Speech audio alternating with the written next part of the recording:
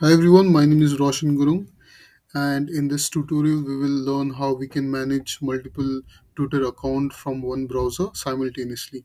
So right now you can see that whenever you try to open a Twitter account you will see uh, uh, this account uh, logged in by default if you have uh, logged into your browser.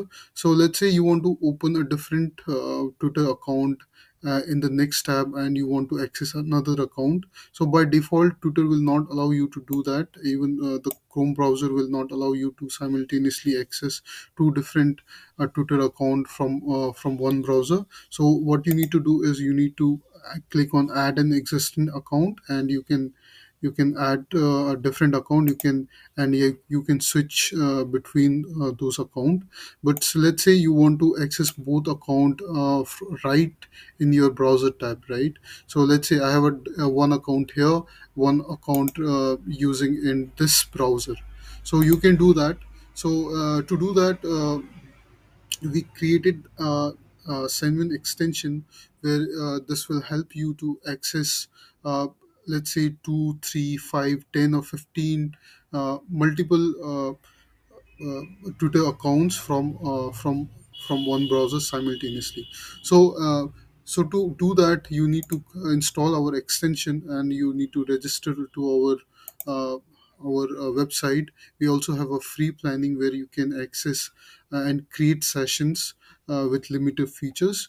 So so this is the default browser uh, you can see, and let me go ahead and create a different uh, session for you so let me click on uh, the extension. You can see that there are two options, temporary sessions and stored sessions.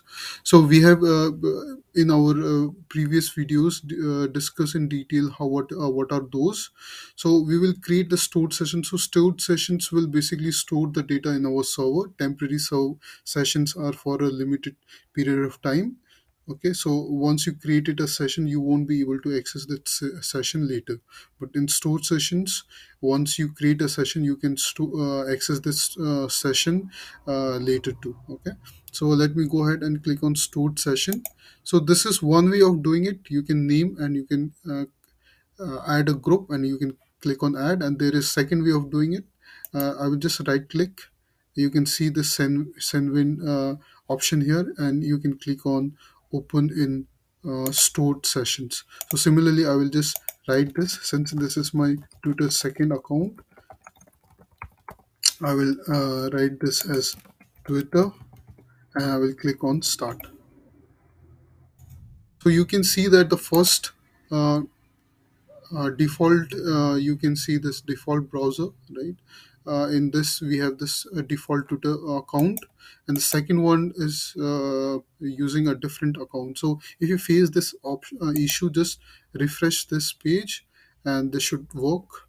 You can see that uh, a different login option uh, option is shown here in in this isolation. You can see check the isolation by by this one. This this icon will change when you try to access session okay? So uh, let me log in with different account here. So okay and i will just click on uh, login and log into different account. So as you can see that I, i've been using uh, again let me refresh this account again. So as you can see that uh, this is my second account that i'm been able to access so this is my uh, in the previous tab uh, this was my uh, different account and in my next tab i can you can see that i'm uh, able to manage a different uh, uh, different account okay? So you can see that i'm able to manage two different accounts. Similarly you can create a third account in a new tab. So similarly what i can do is i click on right tab and click on Sendwin and click on stored session. I will just name it twitter Twitter account 3 okay? And this one will be Twitter. And I will click on start. So the third tab will uh, open a different uh, different Twitter account. So you can log in with another uh, another uh, Twitter account, and you can access this third one. So let let's say I've uh, I've closed this uh, tab, okay, and I want to um again access those accounts. So what you need to do is you can uh, click on the extension and you you can scroll down and you will see this Twitter option. And once you click on option you will see this option Twitter second and third. Since second is already logged in I will click on Twitter's second account and you can see this will load my uh, my my account. Okay? So you can see this uh, second account i'm able to access. So hope this guy uh, hope hope this video is really helpful